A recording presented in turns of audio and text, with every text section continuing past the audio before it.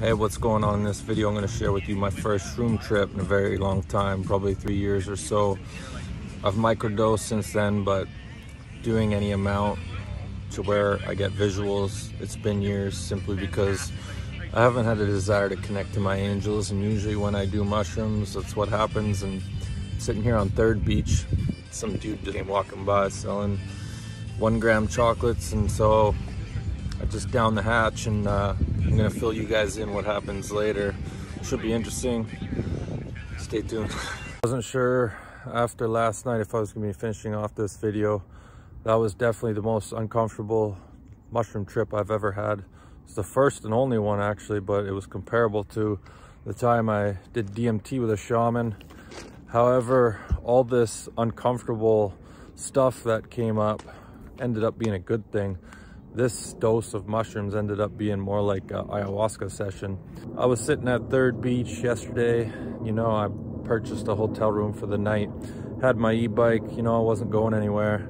And uh, this guy came walking around selling chocolate mushrooms. And I was like, you know what? It's been a while. I feel a little chilled towards my angels these days.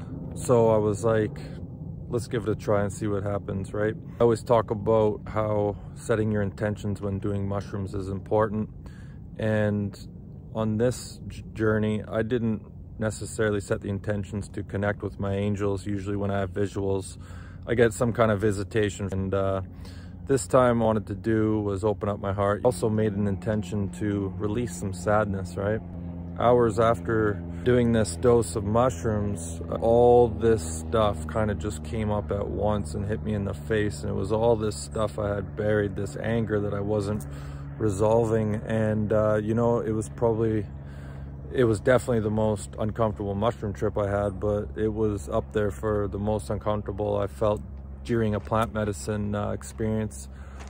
However, all this stuff that came up was a good thing, even though I may have ended up in the parking lot of my hotel looking up to the sky saying, take me now, I'm done. but, uh, you know, I got back to my hotel room and it was 10 o'clock at night and rather than go out and enjoy myself, you know, I was 30 feet away from the beach. I sat on my bed for two hours staring into space and processing all this stuff that was coming up. You know, it ended up being a good thing because it just helped me screw my head on a little bit more. You know, not much else to talk about. Just felt like an Aya ceremony. Just wanted to share with you guys. That's all I got. Thanks for watching.